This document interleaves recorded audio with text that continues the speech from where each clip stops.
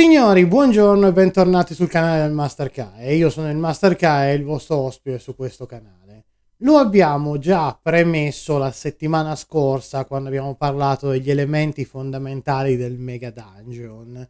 Ma questa settimana andremo nel dettaglio. Esiste un posto che è comune a moltissime quest, moltissime campagne, ma che in realtà viene molto spesso sottovalutato nella sua importanza. Il titolo del video l'avete visto, stiamo ovviamente parlando del villaggio. Il villaggio non è sicuramente il luogo dell'avventura e del pericolo come è il dungeon e non è il luogo degli intrighi e della politica come è la corte del re. Diciamo che non è sicuramente il luogo che a distanza di anni dalla fine di una campagna i giocatori ricorderanno come il posto dove è successo chissà quale evento leggendario,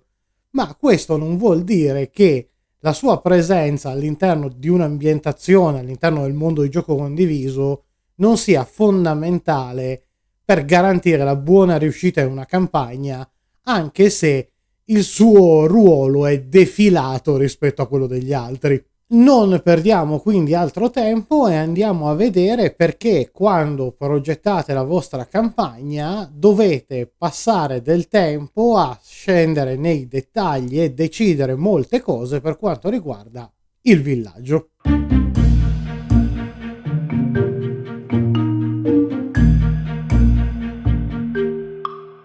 Cominciamo subito con una premessa. Oramai questa frase sta diventando ridondante. Comunque,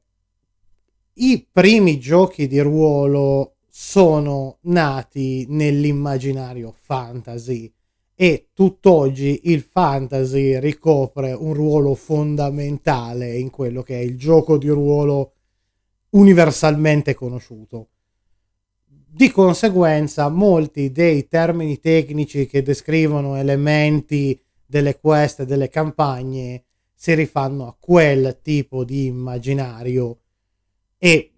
il villaggio di cui parleremo in questo video è uno di questi. Quando si parla di villaggio si intende il luogo di riposo e riequipaggiamento dei giocatori. Poi adesso lo vedremo, ma per quanto la parola villaggio vi possa far venire in mente un immaginario agreste in cui i contadini lavorano le campagne in un'ambientazione pseudo medievale o cosa del genere, non fatevi prendere in inganno dal termine. Il villaggio non è qualcosa che esiste solo all'interno dei giochi di ruolo fantasy. Per essere chiari, il villaggio è il luogo in cui gli avventurieri tornano per riposare e riequipaggiarsi dopo aver finito le missioni.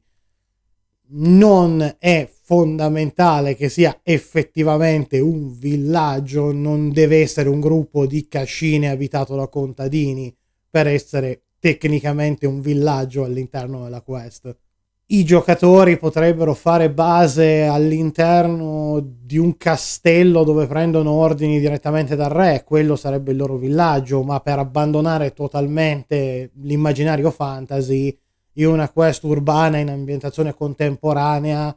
il villaggio potrebbe essere il quartiere della megalopoli in cui i giocatori risiedono, dove ci sono i PNG importanti per la quest, o magari proprio il singolo palazzo dove i giocatori hanno la loro base. In una quest di fantascienza il villaggio potrebbe essere un gruppo di cupole stagne dove vivono i minatori degli asteroidi in un sistema solare lontano, ma potrebbe benissimo essere la stessa astronave dei giocatori che si sposta di sistema solare in sistema solare per portare i giocatori in giro e che fa da base per l'intero party. Più che un vero e proprio luogo fisico, anche se molto spesso esiste un suo equivalente fisico anche all'interno del mondo di gioco,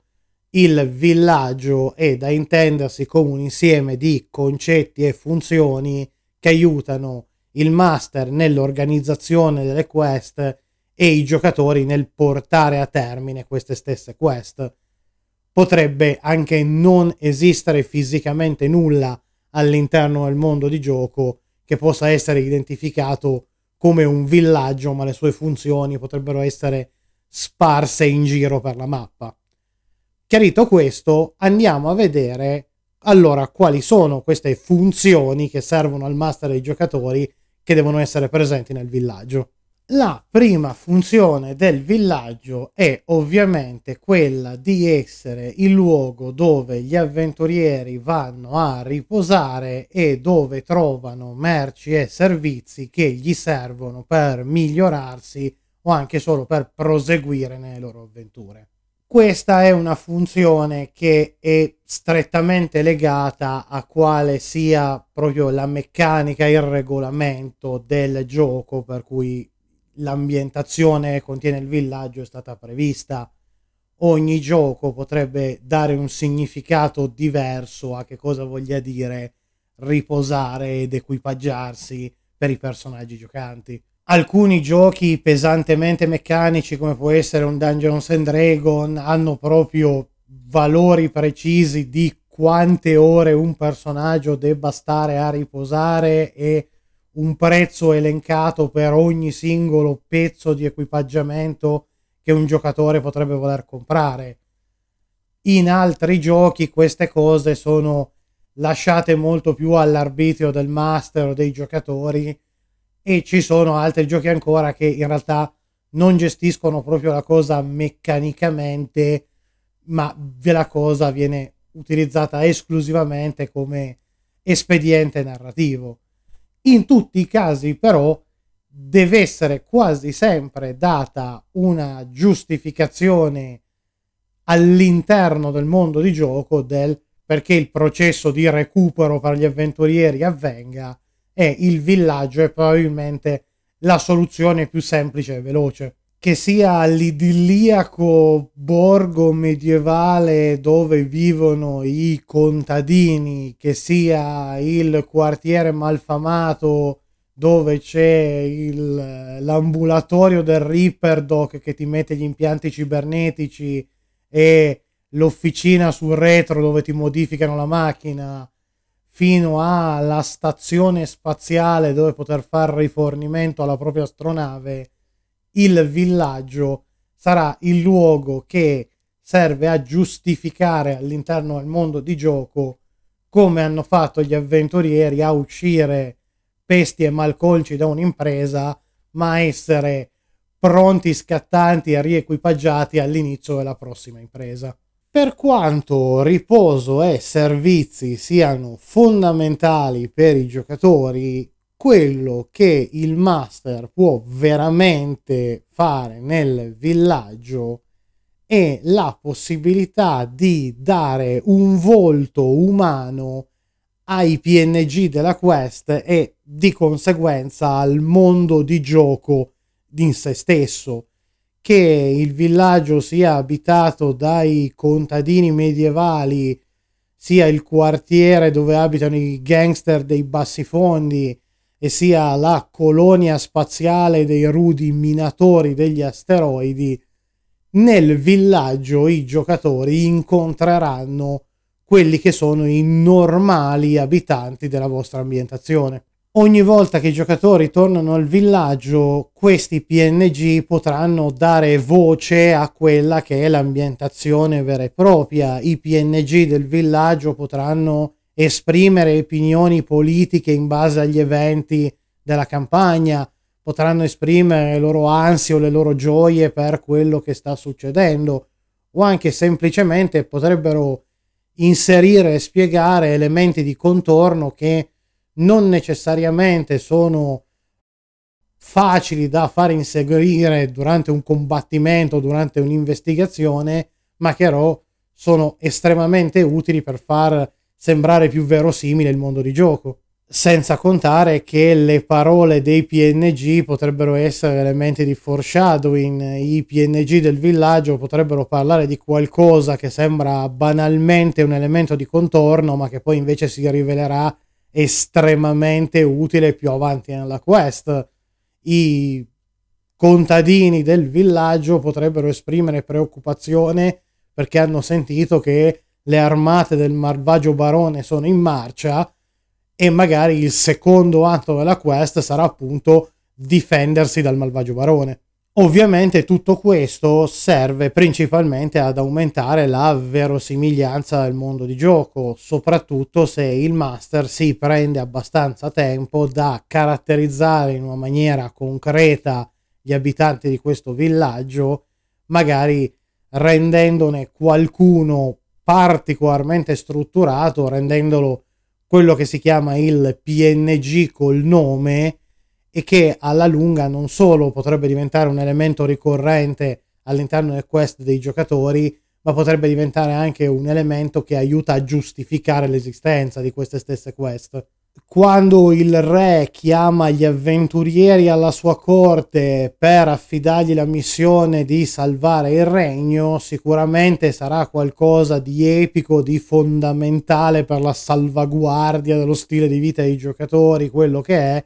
ma sia per i giocatori che per i loro personaggi, fondamentalmente quello è solo lavoro. Ma quando i gangster della banda del Teschio rapinano il locale della signora Maria, che è tanto simpatica, offre sempre la birra ai PG e racconta storie divertenti, andare a fargliela pagare magari non sarà una storia così epica e non sarà fondamentale per il continuo dell'universo come viene conosciuto, ma sarà sicuramente un evento molto più sentito personalmente, non solo dai PG, ma anche dai giocatori che ci sono dietro. Ma anche quando i PNG del villaggio non sono direttamente integrati nella storia dei giocatori,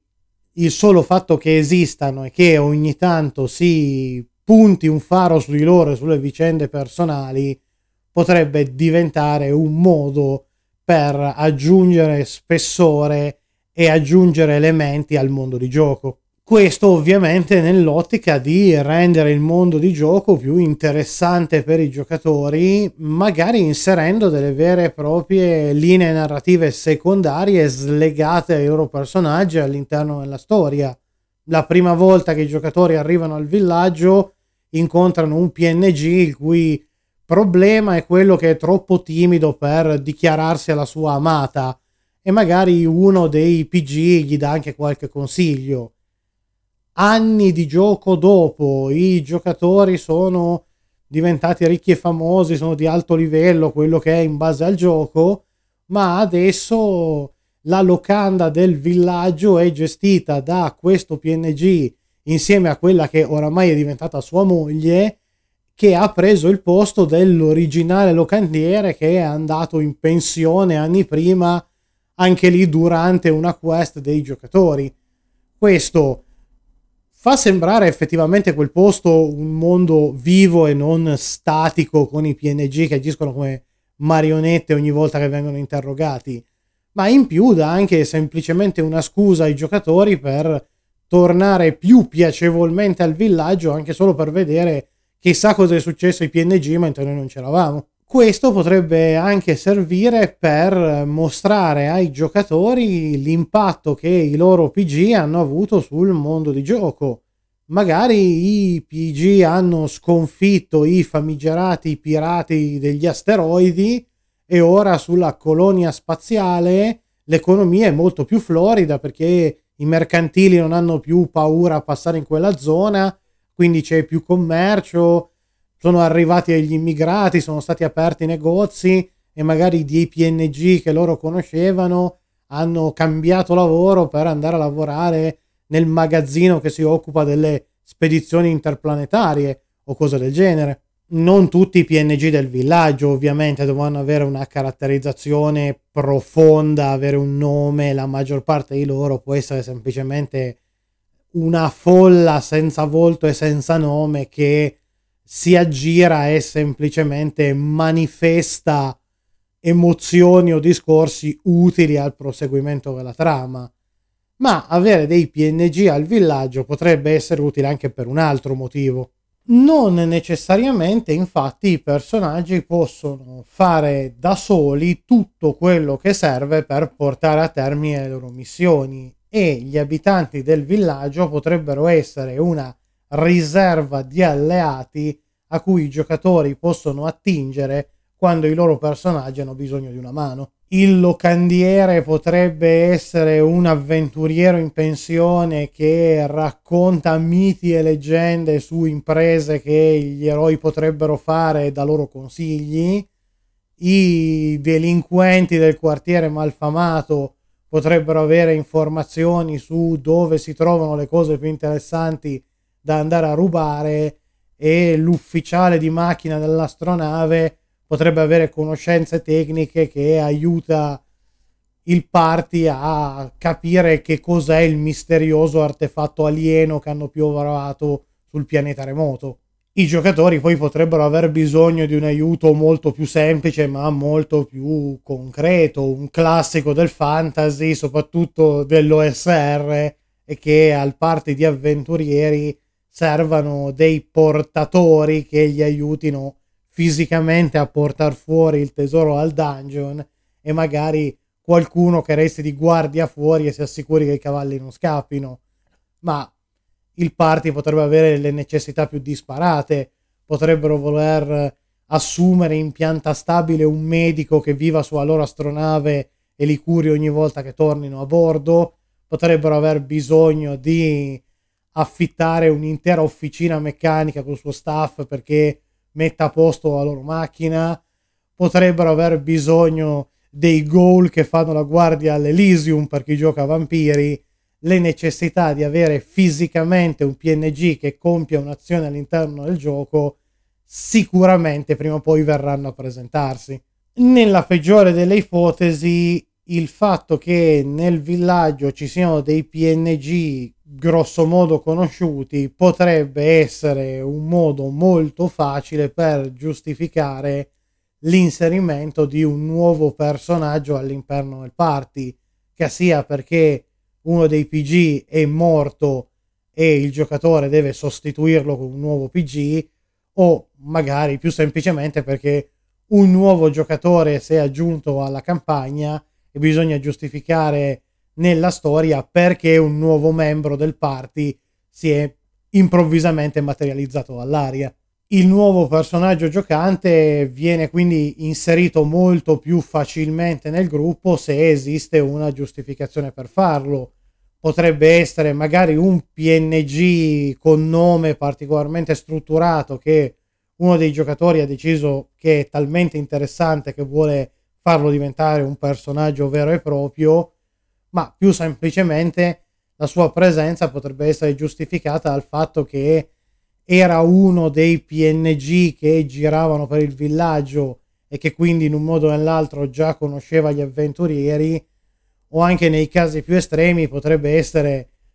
un conoscente o un amico di uno di questi PNG che una volta saputo dell'esistenza degli avventurieri o che gli avventurieri avevano bisogno di una mano ha chiesto al suo amico in comune di farsi presentare per farsi assumere dalla banda di avventurieri. Se il villaggio è stato ben progettato da parte del master e magari la campagna dura già da un po', quindi i giocatori hanno avuto già modo di vedere come funzionano le cose, questo potrebbe rendere anche molto più facile creare un retroscena per quel nuovo personaggio. Il giocatore sa già come funziona il villaggio e quali sono le possibili attività che il suo personaggio abbia già potuto fare al suo interno e anche per gli altri giocatori sarà molto facile capire cosa aspettarsi da un individuo che viene da un ambiente che già loro conoscono bene.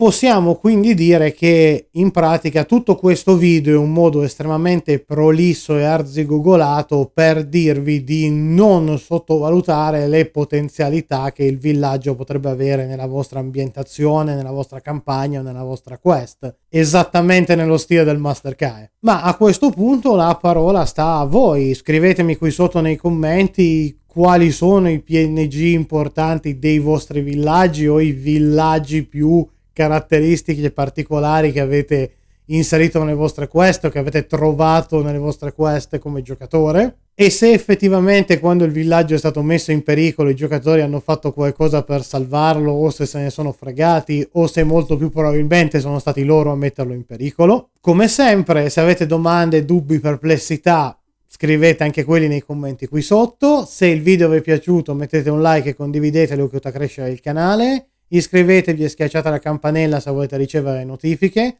Se le notifiche non vi arrivano, in descrizione trovate i link al server di Discord, al gruppo di Telegram, dove metto io gli annunci dei video manualmente e dove trovate anche l'intera community del Master CAE, da cui ogni tanto saltano fuori dei progetti, come avete visto nelle settimane scorse.